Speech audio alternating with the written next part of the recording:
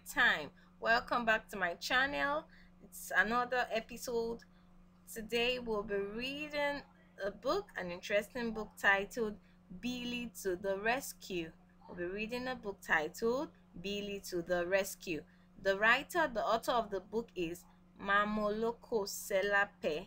Then the illustrator is samantha van wright.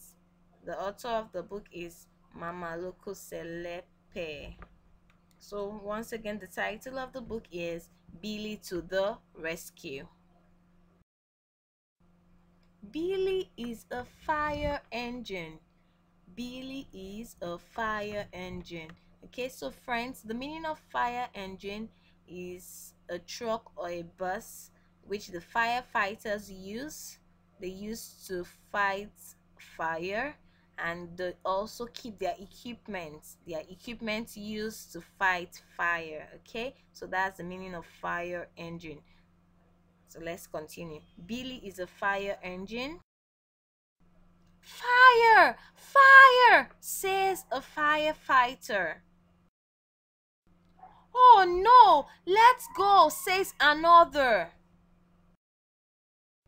But billy loves being clean and shiny I don't want to get dirty, he says. So, friends, Billy, remember, Billy is a fire engine. Billy doesn't want to get dirty, he doesn't want to go with the firefighters. Billy, the animals needs you, says the firefighters. Billy, the plant needs you. Billy, the people need you. Billy, we all need you. Am I that important? Billy asks. Yes, you are. Then Billy says, Let's go then. So Billy eventually went with the firefighters. And can you see them quenching the fire? The people are happy the animals are safe, the plants are safe. Thank you, Billy. Everyone shouts. So, friends, we are important one way or the other.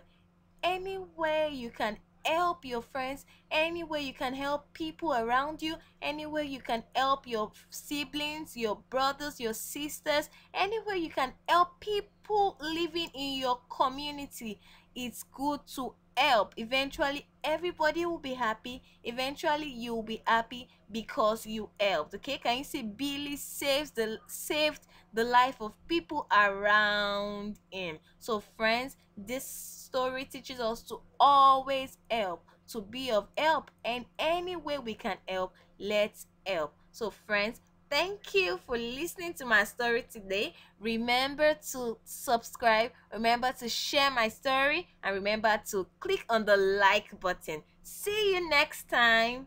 Bye.